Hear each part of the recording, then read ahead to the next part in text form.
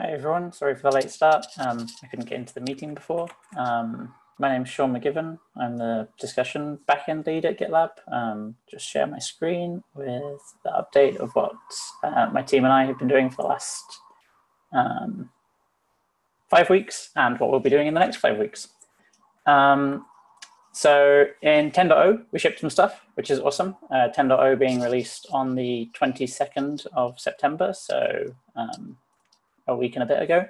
Um, we shipped group issue boards, which slipped from the previous release, um, which is awesome. Like, um, I think everybody at GitLab who uh, does any kind of planning or like, you know, managing issues across a release really needed this and it's awesome. So thanks to Felipe and Simon for that. Um, we also have Jira development panel integration for commits. Um, so Oswaldo was working on that. Um, we hope to add other types of things that we can integrate into the Jira development panel in future. Um, but that's an awesome start. And uh, Mikhail uh, had worked on this as part of, uh, before he joined GitLab, and uh, he finished it up in 10.0. That's a first time contributor badge. So when you submit your first merge request to a project, um, you get a little badge that um, lets people on the project know that this is your first merge request and, um, you know, to be even nicer than you would be otherwise. Uh, we also had some awesome community contributions on that subject. So um, one was to filter issues or MRs by your emoji reaction. So if you've added a star emoji to a bunch of issues, for instance, that you want to bookmark or favorite, um, you can filter by those easily now. Um, we added a setting to um, when you push to a merge request. Um, at the moment, we follow the diff through for each comment on the diff and try and match it to a line in the new diff. If um, it's outdated, we show it as outdated, but we don't automatically resolve the discussion. We you do that manually because it's possible it just moved, but it still needs to be addressed. Um, this setting lets you go to the other behavior of just resolving it if it no longer matches the new diff.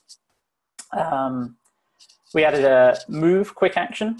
Um, so quick actions are uh, you type slash and then move in the comment box, and you can move an issue, um, which is super cool. Um, and we got some time tracking information in the CSV export for issues, which is um, cool for people who like CSV exports. Um, in terms of the team in general, um, most of them were at conferences this last weekend. So Jarka and Douglas, uh, among other people from GitLab, were at EuRuKo uh, in Hungary. And Felipe and Oswaldo, uh, among others from GitLab, were at the conf in Brazil. Um, so I've spoken to uh, Jarka since then, and it sounds like she had a great time. And I'm sure Felipe, Oswaldo, and Douglas, and everyone else who was there did as well. Um, we've got a couple of concerns. Uh, lock issue I said here missed 10.0 and will be in 10.1. I'm still waiting to hear about that. I'm not quite sure what the the holdup with that is, um, but um, it should be in 10.1. That freezes on the 7th, so we definitely have enough time to finish that. Um, Valery and Dimitri have been sort of working on the Rails 5 upgrade. Um, maybe not necessarily as a main project for either of them, but definitely as a, a thing they've been working on um, but it's just not enough people. Um, and the longer we leave it, the more we have to do because the rest of the team is busy adding new stuff that they then have to you know, account for in the Rails 5 upgrade.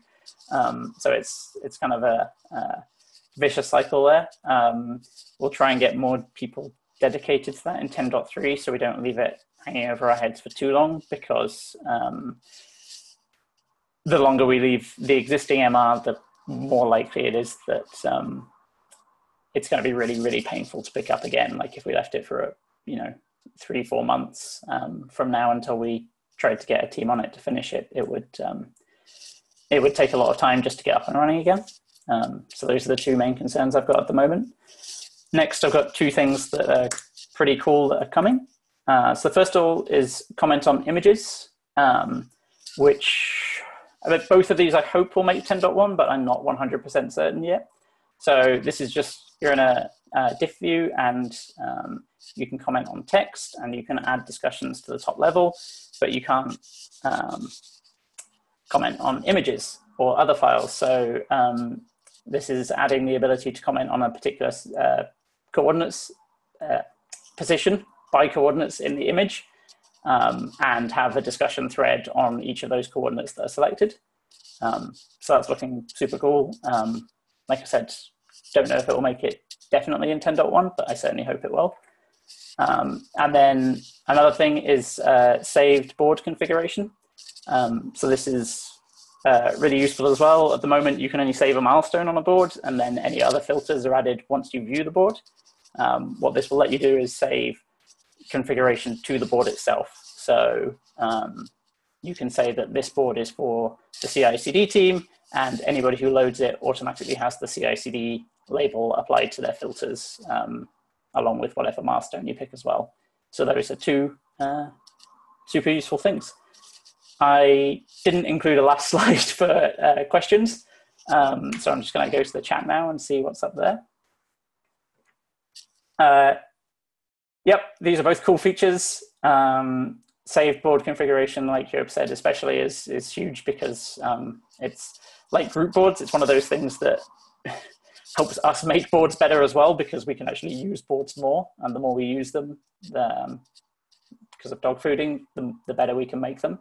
Um, John asks if saved board configuration is a C or E feature. I think it is EES, but I am not 100% certain, and Victor should answer that for certain, uh, for real in the chat probably, or um, on Slack, because I don't want to give the wrong answer.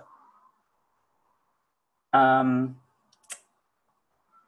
I'll give everybody 30 seconds for any more questions.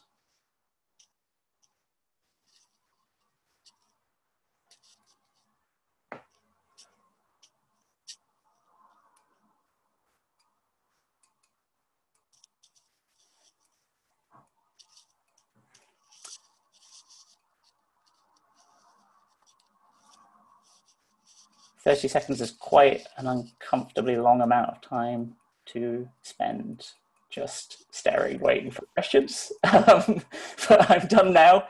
Um, so thanks everybody. You've got uh, 22 minutes back before the team call.